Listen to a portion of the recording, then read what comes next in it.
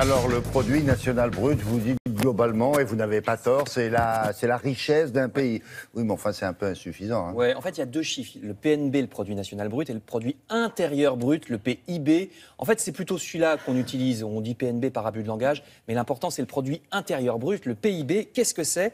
C'est la somme que ça représente, effectivement, cette richesse. Regardez, on va voir des ouvriers du bâtiment qui construisent un immeuble.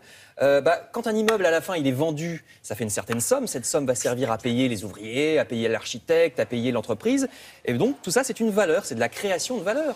C'est une somme, une somme d'argent qui, à la fois, est la vente de l'immeuble et qui est les salaires des gens qui ont travaillé dessus. Et c'est vrai pour absolument tous les métiers, que vous soyez, je ne sais pas, ouvrier dans une scierie, vous sciez des, des planches de bois, ensuite ces, ces planches vont être vendues, donc c'est une certaine somme et qui va servir à vous payer, à payer votre patron, etc.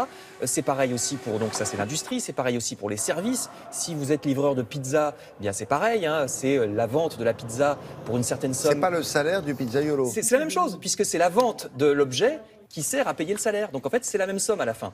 Et regardez, là, on voit une école. Pourquoi? Bah, Parce que euh, même pour les services publics, c'est vrai aussi. Pourtant, on paye pas, on paye pas pour l'école, mais il y a quand même un salaire pour les enseignants. Donc on utilise le salaire des enseignants. C'est pareil pour tous les services publics, la police, etc. On utilise euh, le salaire des enseignants pour donner une valeur aux services publics aussi. Donc tout ça, la totalité de tout ça, dès que quelqu'un travaille en France, dès que quelque chose est vendu, dès que quelqu'un travaille, c'est le produit intérieur brut, c'est la richesse de la France. On en parle tout le temps, on en parle aussi quand on parle de croissance. hein. Vous savez, quand on dit la croissance est de 2%, bah, c'est la croissance du PIB. C'est le PIB qui a augmenté de 2% par rapport à l'an dernier. Donc vraiment, c'est un chiffre. C'est-à-dire qu'on a vendu plus et mieux. Euh, 2% de plus en 2% valeur. de plus, D'accord. Alors, pour autant, ce chiffre, il est très utilisé, mais il pose quand même quelques problèmes. Certains disent qu'il est un peu artificiel. Exemple, exemple, on vient de dépasser en PIB les Anglais. Regardez, Euh, on est redevenu cinquième puissance mondiale. On est repassé devant les Anglais. Pourquoi? Mais uniquement parce que la livre a baissé. Mais oui. Eh ben oui, comme eux, ils comptent leur PIB en livres et nous en euros, la livre a baissé, donc on est repassé devant. Mais c'est oui, bah, totalement ouais. artificiel, c'est totalement artificiel. Bah Bah, oui, c'est la vie. c'est juste, c'est la monnaie. C'est juste la monnaie qui a baissé, donc c'est un peu artificiel. Autre problème, autre problème, le PIB, quand il augmente, vous vous dites le pays s'enrichit, c'est très bien. Mais est-ce que tout le monde s'enrichit Non, ça ne dit rien de la répartition de la richesse. Ah, Regardez, c'est autre chose. on voit des pauvres, des Bien SDF. bien. Vous pouvez avoir un PIB qui augmente de 2 ou 3% d'année en année, et pourtant vous avez toujours autant de pauvres dans votre pays parce que le PIB ne dit rien du tout de, des inégalités, de la répartition de cette richesse. Il y a plein de choses comme ça que le PIB ne permet pas très bien de, de représenter.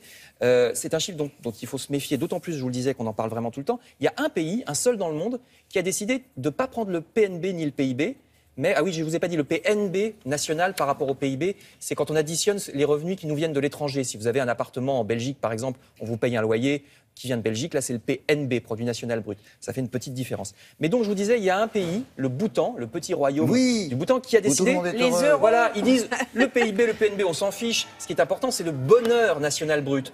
Donc eux, ils disent, on, va, on fait des sondages, on demande aux gens, est-ce que vous êtes heureux? Est-ce que vous êtes bien en famille? Est-ce que vous avez Ouais. une bonne santé? Est-ce que Vous avez un votre bon fa- travail. Voilà, exactement. Est-ce que vous êtes content?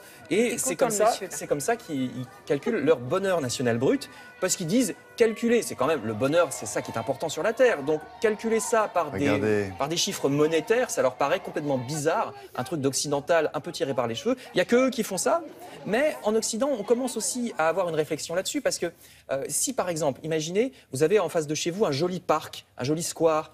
Bah, si on le détruit pour faire des immeubles, le PIB va augmenter puisque ça va faire de la richesse avec le prix des immeubles. Pour autant, Ouais. est-ce que vous serez plus heureux Est-ce que vous serez plus riche? Oui, ça c'est sûr. Alors nous, on est passé au cinquième rang. Je me disais qui sont les autres? Alors j'ai vérifié.